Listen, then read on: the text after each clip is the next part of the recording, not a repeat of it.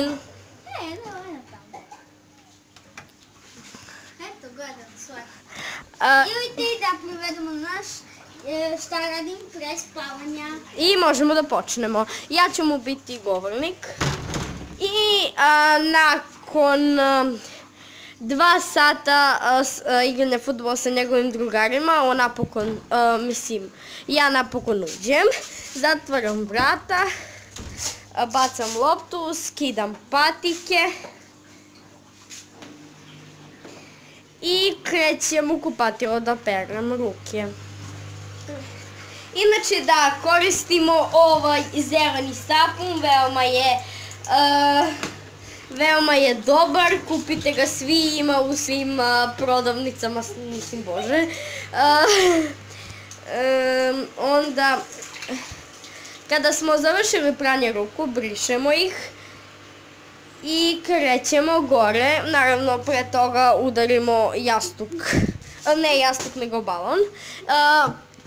Pre penjenja gore ja radim zgibove na stepenicama i napokon odlučujem da krenem gore. Sada kada zatvorim vrata, idemo u kuhinju da jedemo. Inače, pošto vodim zdrav život, uzimam jabuku, operam je, operam je i naravno pojedem je. I naravno sada kada smo to pojeli, idemo u sobu da napišemo domaći. Uh, Izvinjavam se što se ovde ne vidi, ali nema. Če, ovo nam je naš soba, također reklamiram sobu.